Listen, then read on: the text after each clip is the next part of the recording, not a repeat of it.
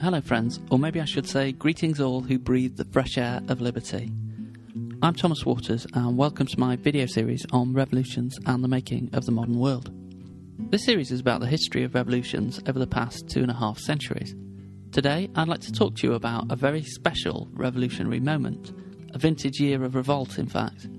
That year is 1848, when revolutionary waves crashed over Europe cowing and in some cases sweeping away ministries, governments, and monarchies throughout the entire continent. The first victim was King Ferdinand II of the Two Sicilies, as his dual kingdom of Naples and Sicily was known. Sicily had been smouldering in rebellion for months and occasionally breaking out into open fires of revolt. Yet a step change occurred early in January 1848 following the authorities' rather ill chosen decision to close the university. Deprived of their studies, unoccupied, young, and educated revolutionaries began fanning out across the capital city of Palermo, plastering manifestos on walls and pushing them into their compatriots' hands. To arms, sons of Sicily, these manifestos read, with a typical revolutionary combination of sacrifice, idealism, and courage. Critics might also say that they expressed unrealistic expectations, if not utopianism and outright delusion. The force of the people is omnipotent. The unity of the people will bring the fall of the king. The day of 12th January 1848 at dawn will bring the glorious epoch of universal regeneration, they read. Barricades went up, insurgents mustered, peasants began occupying and seizing land. Within weeks, the government had been dislodged, and newly formed revolutionary committees were taking charge across the island. By February, revolution had spread to France. After a few days of street fighting, King Louis Philippe leapt off his throne and fled to England.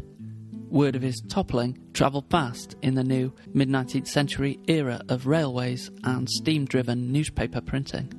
By the 29th of February, the news had reached Vienna, capital of the Austro Hungarian Empire. It inspired demonstrations, risings, and confrontations, which by March had brought down Chancellor Metternich, the great architect of the post Napoleonic European settlement.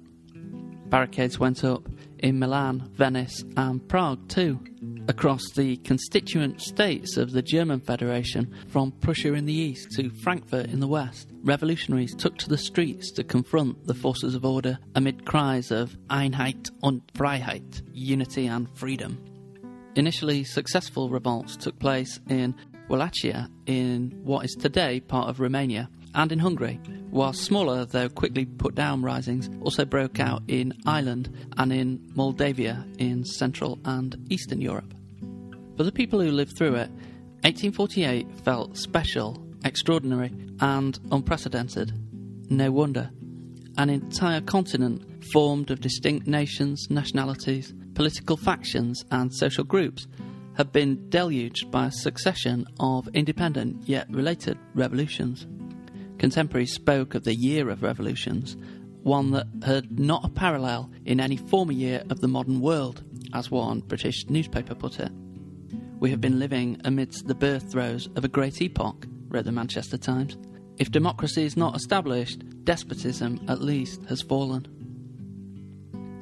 1848 felt special at the time, but it's been less often recognised as such since. Mostly, I suppose that's because the forces of order soon coalesced, reorganised, and regained power. Though in the case of Austria Hungary, this was in conjunction with foreign military might supplied by the arch conservative and reactionary power that was the Russian Empire's Tsarist autocracy. By 1849, revolutionary regimes and many of their key gains had been removed. France's workshop scheme of urban public employment was soon disbanded amid more street fighting, not least because the taxes to fund it had been levied on an unwilling and resentful peasantry of rural smallholders. In 1851, on the anniversary of the Battle of Austerlitz, Napoleon Bonaparte's nephew and the President of the Second Republic, Napoleon III, staged a coup d'etat that eventually re established the French Empire. At the very least, though, France never returned to monarchy, constitutional or otherwise.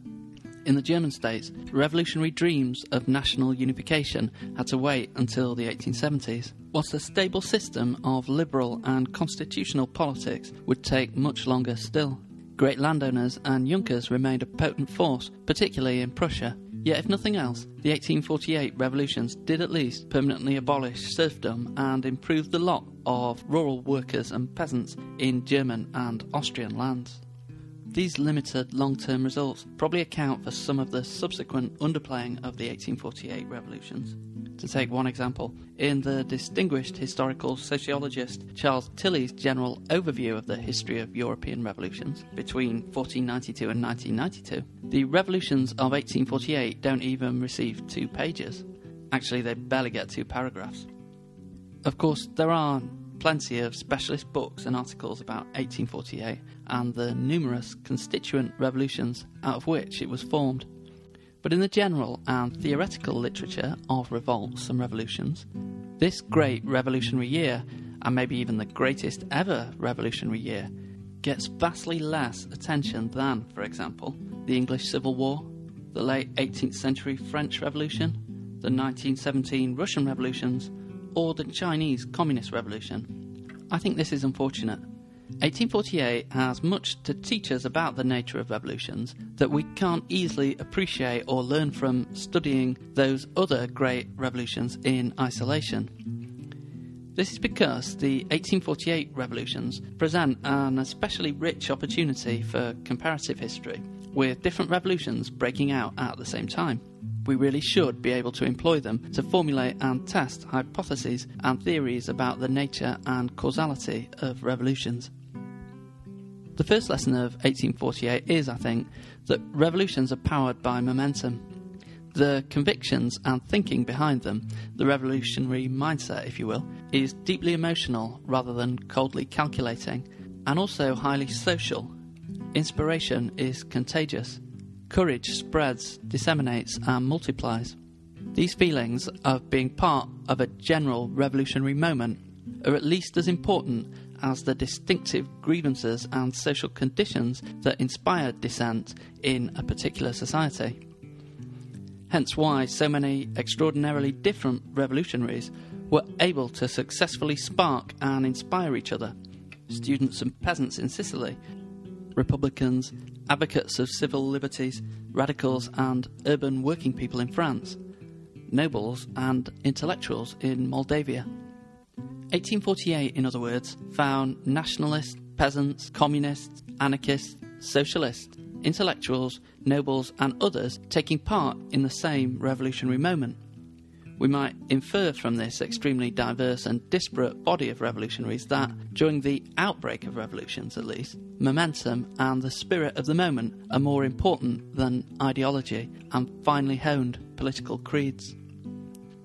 We might also conclude that fear, hopelessness, and the inclination to surrender are also contagious. This may explain why so many different regimes, from constitutional monarchies to autocracies and empires, were cowed, initially at least, by the 1848 revolutionaries. A second related lesson of 1848 is of the centrality of technologies of communication in the early stages of revolution. The 1848 revolts were newspaper revolutions above all. It was when the newspapers arrived, bringing news that monarchs and ministers presiding over neighbouring states had fallen, that local ferment began. A third lesson is that revolutions are always international rather than national events, which have serious implications for nearby states. Finally, at risk of ending on what some will find a depressing and dispiriting note, I'd like to raise the possibility that contagious, wave like revolutions, amazing and overwhelming as they seem at the outset, are among the less secure and permanent political revolts. The revolutions of 1848 seem to sweep all before them, Yet note how easily and quickly many of their gains and concessions were rolled back. The changes, perhaps because they were so rapidly and easily won, did not run deep. To some extent, we might draw parallels with the Arab Spring of the early 2010s. Constitutional government was, it's true, won in Tunisia, yet elsewhere, and even in Egypt, where the world watched the amazing occupation of Tahrir Square, the results of what at the time was an inspiring revolutionary wave look in retrospect pretty modest. Revolutionary waves like 1848 and the Arab Spring, in other words, tell us a lot about how revolutions break out. but they reveal a lot less about how revolutions can bring about permanent and fundamental change.